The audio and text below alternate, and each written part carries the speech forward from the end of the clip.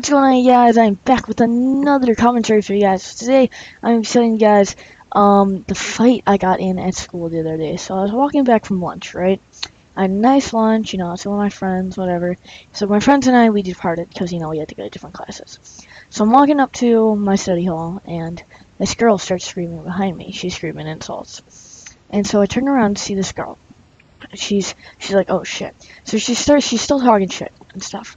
So I, I walk, she, she walks up to me, and she's, she just kind of like shoves me a bit. I'm just like, yo, you can't just be doing that. So I shoved her back.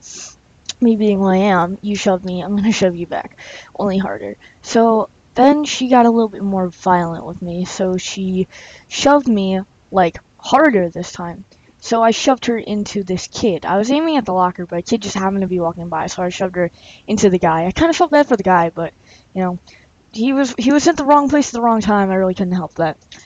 Then, you know, she threw a punch at me. She kind of missed, but you know, whatever. So then I punched her back, but I hit her this time. And I ended up hitting her in the tit, and so she started screaming and saying, Oh my god, my tit! Oh my god, my tit! Oh my god, my tit! Oh my god, tit! Oh my god, that hurt! What's wrong with you? I was just like, bitch. And then, you know, she just kind of like walked away.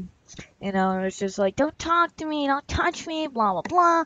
You leave me alone. That's assault. I'm suing you. And I was just like, okay. So then, you know, I was just like, whatever. So I went to my study hall classroom, and I just walked in the door. I started laughing my ass off. And my teacher was like, what the fuck? And I was just like, you don't even want to know right now. And I just started laughing really, really hard. And, um, yeah, it, it was kind of funny.